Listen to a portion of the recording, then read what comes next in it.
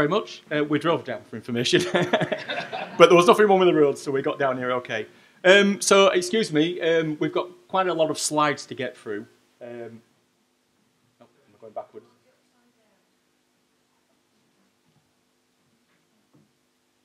Just get myself onto the first one. Yeah, there we go. Okay, yeah, so I've got quite a lot of information to share with you in 20 minutes, so please bear with me because it's going to be quite rushed through. But on the subject of austerity, um, I just wanted to share with you our experience about how we transformed the service to try and manage the budget pressures that we've got by looking at the assets that we've got and how best to use some of those. Um, so this is what I'm going to share with you. Um, so just a little bit of background about the Parks and Countryside Service, what we call our enterprising approach. Um, so I'm just going to share with you what we've done, uh, a little bit about what we've got going on at the moment, and then what our future plans are in terms of investment and dealing with some of the budget situation. Um, and then, of course, we're going to wrap that all up and just give you some points to consider because the Leeds team have got a workshop this afternoon for those of you that are joining. So they're happy to share our experiences in how we develop business cases, etc., and what our future plans are and the things you've got to consider. But I think there's an opportunity for us all who manage parks to actually do a little bit of this on, on varying scales. So this is Leeds. We're quite an integrated park service. Uh, we look after 4,000 hectares of land. Um, so about one and a half thousand hectares of formal parks, what you might recognise, a bit like Cannon Hall out here. Um, and then about two and a half thousand hectares of natural environment, so woodlands, natural grasslands, all sorts of other different habitats. Uh, but importantly, we've got seven major parks, lots of community parks, typical parks and countryside service. Um, we also got our own workshops, etc. So we're fully integrated on that, and we manage our own business cases and our own commercial elements as well. Um, so we've got 550 full-time equivalent staff and quite a number of part-time staff as well um, that actually help us uh, deliver all this. So going back in the days of austerity, so laws that you can think back, so um, back in 2010-11, this was our budget effectively. So we had a gross expenditure of 28 million pounds. Uh, we had an income of 14 million pounds 21% of that was external. But I think importantly from a budget perspective, our net cost to the city was £14 million. And over the life of the programme, to this date now, this is where we currently stand. So it just gives you a flavour of, of what we've been able to achieve. So actually our gross expenditure's gone up. So it's gone up to 36 million. So we've, we've been able to invest in the services and protect frontline staffing numbers. Um, but the big change is our income has gone up to £28 million. And we've done that through this enterprising approach that I'm going to share with you now. So our net cost to the authority is now just £8 million. So we've actually saved the authority uh, well over 40% of the net cost of running the park service without any, to do any more cuts um, on there. So these are examples of work that we've already done. So I'm just going to talk to you a little bit about Tropical World at our sort of one of our premier sites, Roundhay Park. Um, a little bit about Lotherton Wildlife World, the Arium, which is our new plant nursery, um, and uh, Golden Acre Park, which is probably a good example of a bit of a partnership where we've had where we've had a uh, somebody who had a link to the park. So this is Tropical World. This sits within Roundhay Park, a 300 hectare park um, in, in, built in an urban area of Leeds. Um, Tropical World was built in the 1980s. Um, and it had a very small cafe with limited retail. Most of the glass houses were set aside for like a butterfly house. Uh, and back in 2010, we did levy a small charge to get in there. Um, and we earned about 808, well, we earned 883,000 pounds. So by actually developing a business case to invest in the site and, and, and work off its potential, um, we actually borrowed, Prudential borrowed, 1.7 million pounds worth of borrowing. So Prudential borrowing is where actually we put a business case together. We, we, we, the council raises the capital, but actually we agree to pay that back rather than it just coming from general fund. So effectively, it's, it's almost like at zero cost because they, they get that paid back. So it's not a pull on the treasury of the, of the local authority. Um, we also got some funding from a local benefactor, uh, Tropical World's known as the Arnold and Marjorie Ziff Tropical World because it was established back in the 80s by a, a very uh, kind donation from the Ziff family. And we approached the family and they agreed to give us a few hundred thousand pounds towards this project as well. Um, so, so they were really bought into the investment on it. So we looked at how we can theme it all and pull it all together. So we developed some new aquariums and an Aztec theme style. So this is part of the aquarium area there. Um, the, the, the team that did this, the contractor, did a really good job for us in terms of developing that. Uh, we refurbished one of the houses called the Waterfall House, um, and where we had lots of like snakes and reptiles and things, the creature corner we call it. So we invested in that as well. We got some crocodiles because they're always great for kids and fantastic for disciplinaries. Um, so uh, so we, we got ourselves a couple of large crocodiles um, in, and put in one of the ponds. Um, and we also, when we did the business case, we knew we were only capturing about 9% of the people that went to Tropical World um, into the cafe and the shop in terms of transactions. So like any good uh, visitor attraction, you actually move, you actually have the shop and the cafe where you come in and out of the attraction. And that's what we developed as part of this. So we, so we expanded the cafe, made it light and airy, in, significantly increased the number of covers. Um, we increased the retail offer to make it really attractive, lots of fluffy meerkats and things like that, and snake, rubber snakes. Um, and we've managed to, we've managed to increase income to 2.3 million pounds. So that's a 160% increase on that. So it's more than paid for the prudential borrowing 10 times over. So these are some images of Tropical World that you can see. So you can see from the outside the cafe space where you go in, you can see the shop where you go in and out, um, and then just some images of the improvements and the crocodile, of course, there, looking very friendly. Um, and then we've got a site called Lotherton Hall. Um, so Lotherton Hall is a 57 hectare estate. It sits on the outskirts of Leeds. Probably 50% of the people that use it come from Leeds, but 50% come from North Yorkshire. And as much as we love North Yorkshire, we did feel that it's probably not quite fair that the citizens of Leeds should pay for all that. So, um, so we, we charged a small, um, well, we used to charge for car parking, and we developed and charged a small entry fee for the site, and we got that uh, approved. Um, but it had a, a, bird garden that was developed again in the 1980s through the community programme. Um, it's very nice, um, and income was just short of half a million pounds. I mean, it's got a nice deer park and, and what have you, but it had lots of potential. Um, so initially we borrowed £750,000 to invest in rebranding the bird garden to Lotherton Wildlife World. So we know how popular they are and we do lots of things about conservation as well. So that was all wrapped up in this. So we developed a, a, a, a penguin enclosure because we know they're really, really popular. So we got some, we got a collection of Humboldt penguins and they were added in 2017. Um, we added value to the estate effectively, so the visitor experience really went up, the dwell time really went up.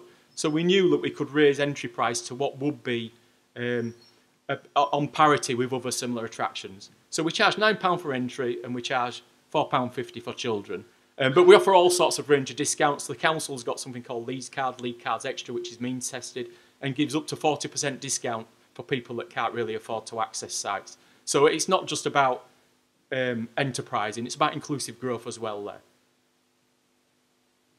And one of the other things we did is that some of our visitor numbers between November and Christmas were really quite low. Um, so we used to get about 9,000 visitors between that period, and we had an income of about £23,000. Um, so it was quite small. So what could we do really without um, to actually increase footfall? Um, so we had the idea of putting on some form of Christmas experience for that, for that sort of six week period, uh, where we did Christmas interactive walks, we developed an elf village, and you know, kids could go visit Santa and, and, and get, a, get a present. Um, and as a result of that, I mean, it just went through the roof. It's amazing, the, the market out there for Christmas. You know, families are looking for something to do when the weather's a bit miserable and everybody gets excited. So visitor numbers went from 9,000 over this seven week period as a result of this investment to 65,000 people in that period. Income went up from 23,000 to over 230,000 pounds. And just some examples of that. So the cafe used to take about 12,000 pounds that was in the estate. It took 96,000 pounds over that period. Um, and even the positive benefits, you know, we, we, we offer um, membership an annual membership, so you don't have to keep paying the gate fee. Um, and just people signing up for membership went from an average 236 over that seven period to 494. So we've actually developing more baseline customers as a result of that investment. So the Christmas experience has worked really, really well for us, and we continue to develop that. And then going back to the wildlife world, um, we, we, we started to invest more funding on that, and we and like it, like I said about Tropical World, we created a very large shop area so that now you access Wildlife World by going in through the shop and out through the shop. So the shop's done really, really well as a result of that. And you can see this picture is nice, pleasant, light, airy space to be in there. Importantly as well, we added non-bird species to give it the, to, to actually develop the theme of Wildlife World rather than a bird garden. So we developed, we've got tapirs, uh, water pigs, uh, and capybaras. Um, so my, my animal IDs are quite good. So, uh, so, uh, so we put some non-bird species in there. And we expanded the events program, so we've got things going on, World War II reenactments and things like that. So at the end of that, we've actually increased income at that site by 202%. So an income is now one and a half million pounds a year. Um, so again, that significantly helped with the net cost of the, managing the park service. So the Arium. So the Arium effectively is our new horticultural plant nursery. Um, so we used to have a, a, a, plant nursery built in 1956. Um, I used to manage it years ago, actually. I was talking to Lawrence from Wrekin, who we used to supply plants to. Um, so, uh, yeah, so, uh, so, so we had a very old nursery. We did have a shop, a retail shop there, um, but you had to go through effectively what was a busy works yard um, to get there. Um, wasn't very pleasant, very difficult for people to park. Um, it, obviously, it wasn't geared up from a customer perspective. So the land where the nursery sat was actually worth quite a few million pounds for development. So we managed to um, get agreement to actually invest six million pounds of that to decant the old nursery and build us a new one on some land that the Park Service actually owned just nearby. Um, so we got planning consent for that. But what we did do, while we still had plant production on our minds, we also thought a little bit about the customer. So we've very much designed it like a modern garden centre. So we've got a car park and cycling facilities right up near the entrance. We've got a fantastic outdoor play area uh, for children to use. Um, we developed a, a cafe uh, space as well that we didn't have in the old nursery. We just used to have like a drinks machine. and, uh, and we really developed the retail space. But on top of that, you know, we got we got just short of 20,000 metres squared of glass area as well to, to actually grow our horticultural plants for the city. So these are some invest these are some examples. The cafe started to do really, really well, and so did the retail space, and we needed some way of being able to expand that. So just recently we invested in further 200,000 in a mezzanine floor. So it's split on two levels now. Um, and we moved into a table service as well um, rather than people coming up to a counter because it was getting that busy. So, and it's amazing really, because actually I was really surprised because the mezzanine, when you're up there, look, it's fantastic space. But actually, underneath is just as popular because it's nicely lit, it's quite cosy, and uh, it, and I'm really surprised how, how well that's done. But on top of that as well, we also saw another initiative. So instead of just growing bedding plants, um, like you traditionally do, or some shrubs that you might have, because of the because of uh, all, all, the current sort of um, focus on climate change and tree planting, etc., we spotted a real opportunity to grow trees. So we were really lucky that Leeds City Council invested agreed to invest six hundred thousand pounds a year in additional woodland creation.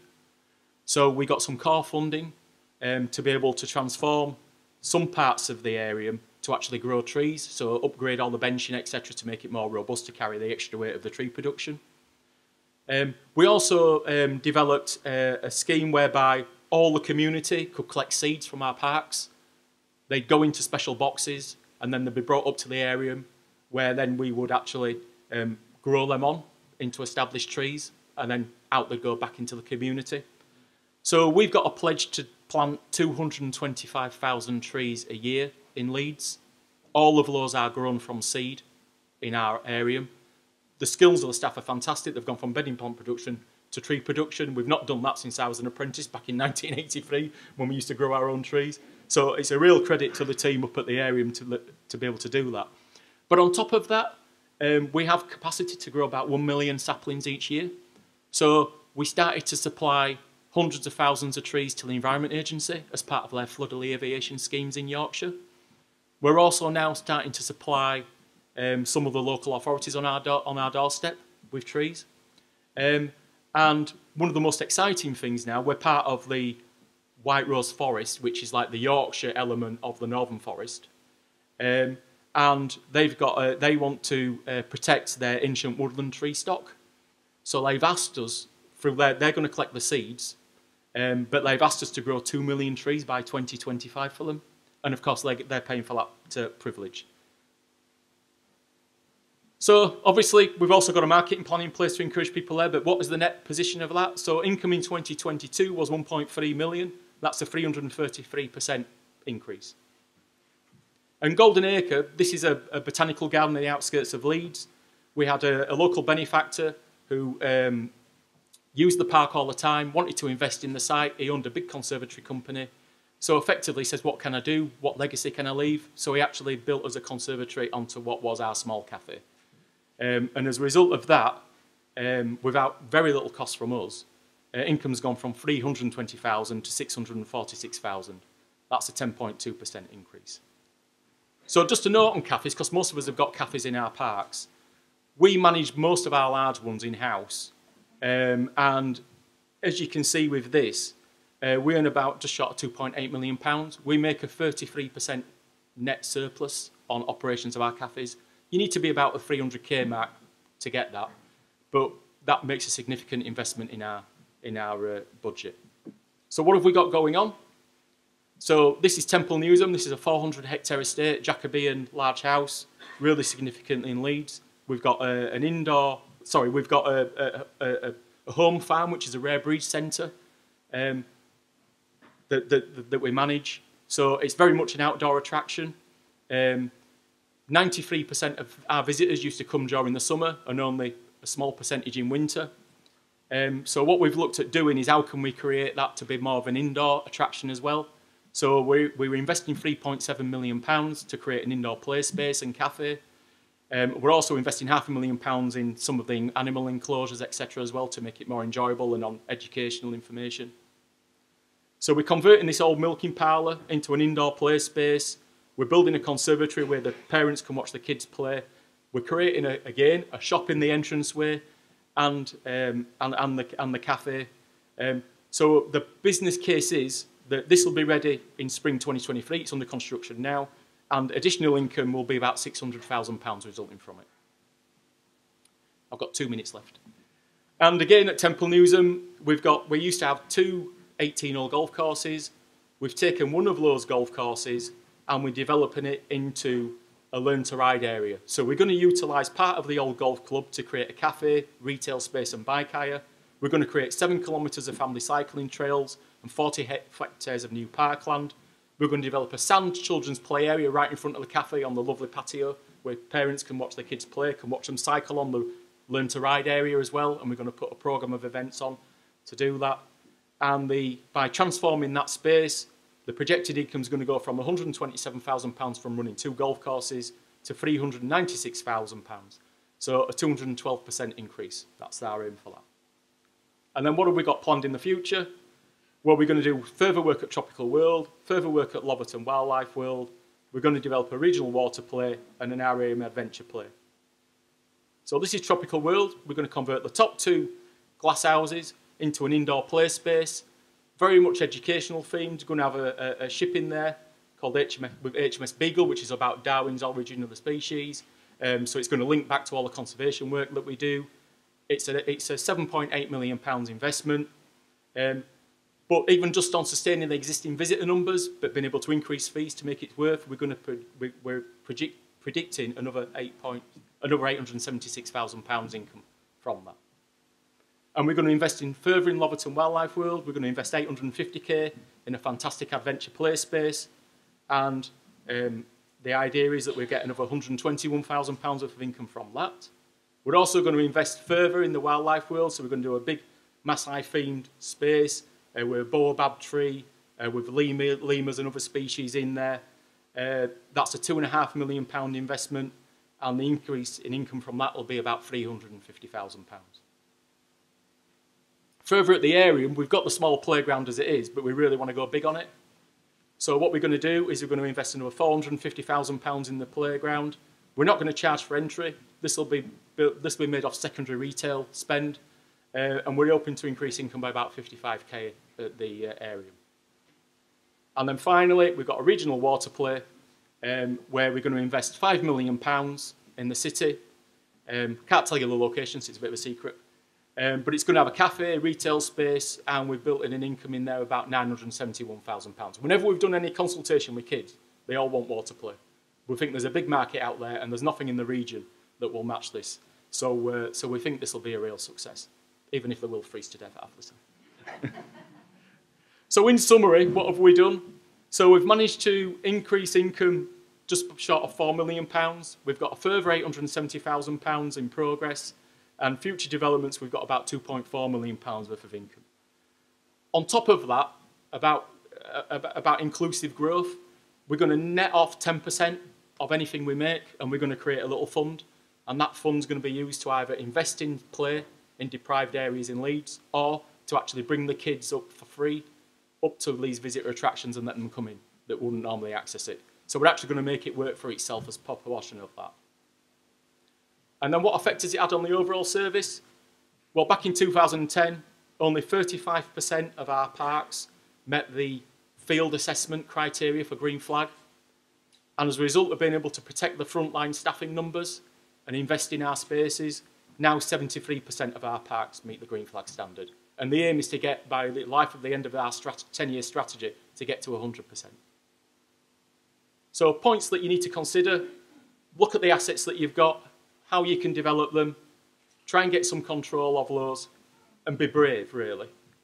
Um, and develop the business case. And I think once you do one and you develop success, the finance team are willing to snap your hand off because you're not having to make cuts. It invests in your infrastructure. It creates fantastic visitor places for people, um, but also helps with the budget as well. Okay, thank you very much.